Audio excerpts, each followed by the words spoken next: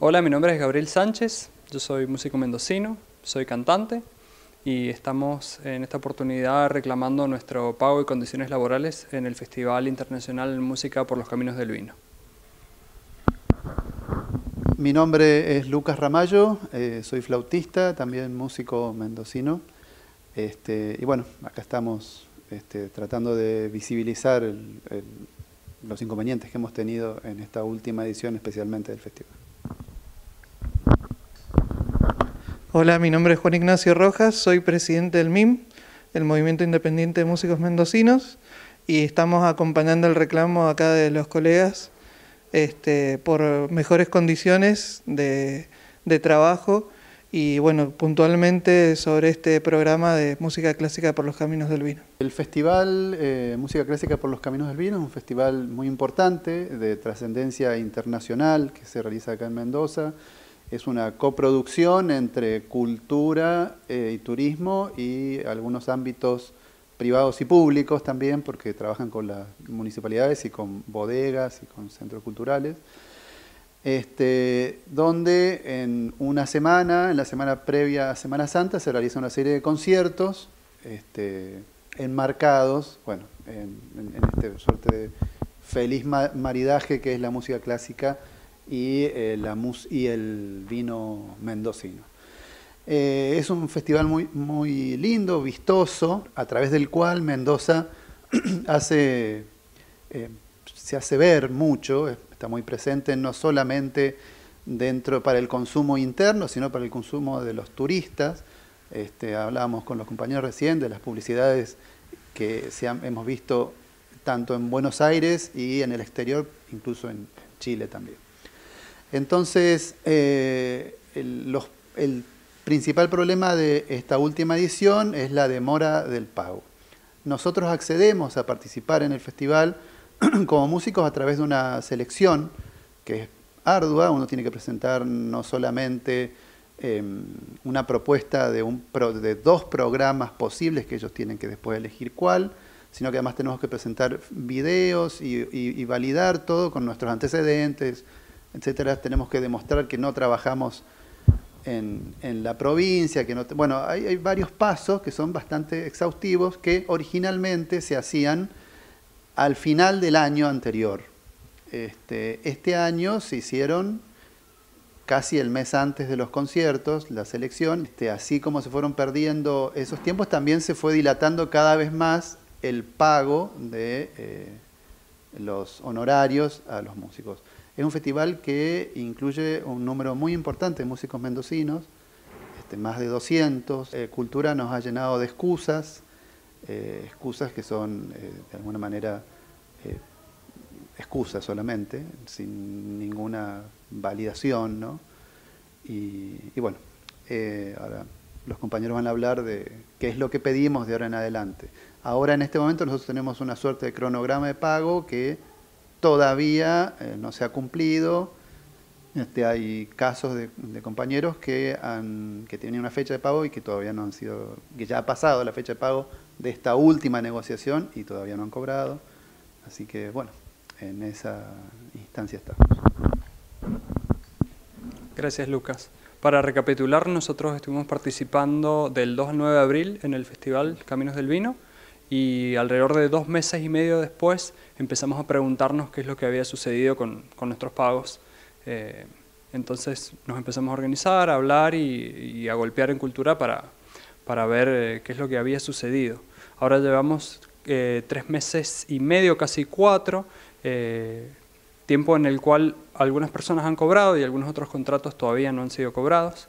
lo cual nos llama mucho la atención y nos preocupa porque además ya no es la misma plata del cachet que se ofreció en marzo, ni la que se cobró después las personas que tuvieron la oportunidad de cobrar en junio, y mucho menos los que van a cobrar en julio o agosto. Entonces, necesitamos, además de explicaciones o excusas, que mm, primero Cultura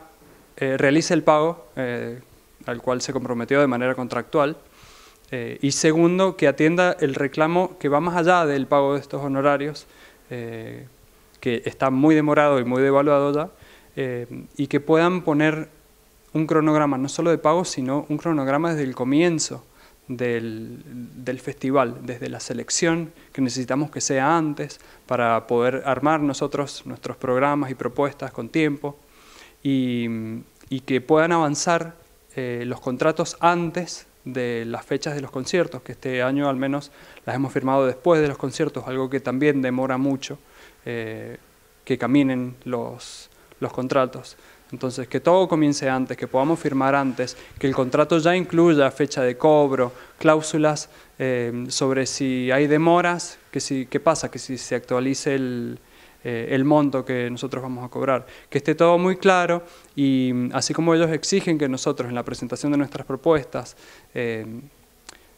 podamos decirles en qué lugares estamos dispuestos a actuar, con qué acústicas, con amplificación o qué no, ya que eso nos lo exigen nosotros, nosotros exigirles que se cumplan lo que nosotros les pedimos, porque muchas veces hemos llegado a actuar a lugares eh, que no son cercanos a donde residimos por, por, lo que no hemos podido verlos o, escucharlos antes y nos encontramos con sorpresas de que los lugares a, veces no son tan aptos como nosotros desearíamos o como hemos pedido en nuestras propuestas. Entonces son una serie de exigencias que nosotros esperamos que Cultura tenga en cuenta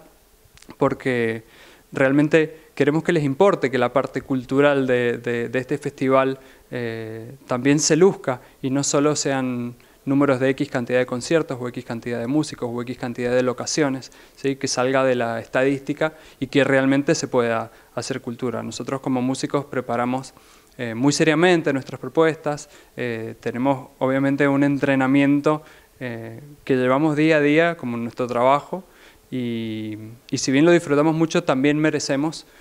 lugares dignos, una contratación digna, ¿sí? un trato laboral eh, digno, con reglas claras y con reglas que se cumplan también.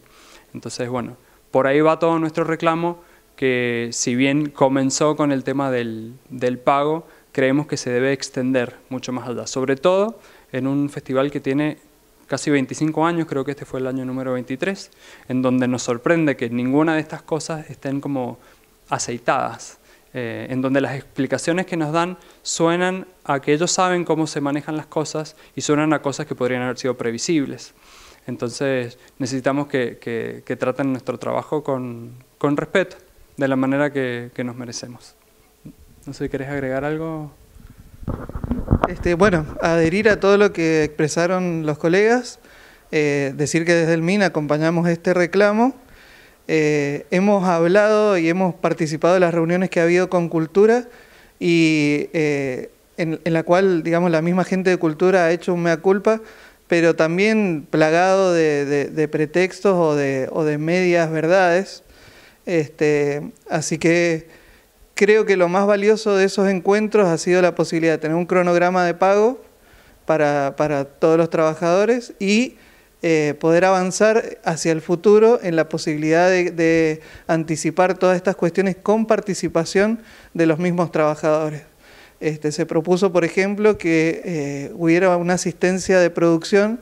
que fuese alguien eh, experto, alguien o algún músico que no se fuese a presentar ese año, pero que pudiera cumplir ese rol para justamente sobrellevar todas estas cuestiones que está que está compartiendo Gabriel, que tienen que ver con los lugares, la acústica, los equipamientos, los traslados, eh, los instrumentos. Eh, no pueden llevarse a cualquier lugar con cualquier temperatura, digamos, son cosas que tienen que ser cuidadas. Uno no puede invitar a un pianista profesional a tocar una obra en un piano eléctrico, este, tienen que ser cuestiones que se manejen de la mejor manera justamente para jerarquizar no solo el trabajo de los compañeros, que es, lo principal, sino también todo el programa, digamos, eh, eh, tal como decía Lucas recién, es un programa que hacia afuera lo venden como, como algo muy especial en esta, en esta,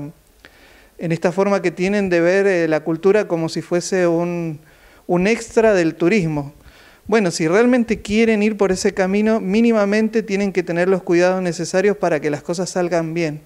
y los tiempos que están manejando, que ya son históricos de, pago de las contrataciones, con los niveles de inflación que estamos teniendo, hacen imposible sostener ese trabajo.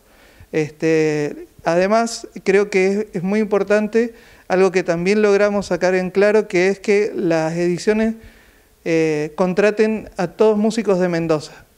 digamos que las convocatorias sean para músicos locales y si Cultura considera de que por cuestiones de cercanía, de alguien que está haciendo una gira, de alguien que está en el país o en la región eh, y es un referente a nivel internacional sobre el género, eh, que lo invite y que lo contrate de manera directa porque seguro va a jerarquizar el programa, pero que no entre por, eh, la convocatoria. La convocatoria debe ser para, los músicos de, de la provincia. Me gustaría agregar que sabemos que esta gestión está finalizando prontamente y, realmente confiamos en su compromiso de transferir y transmitir nuestro reclamo a la gente que vaya a, sucederlos en cultura, porque realmente es algo que, debería ser parte de la política del ministerio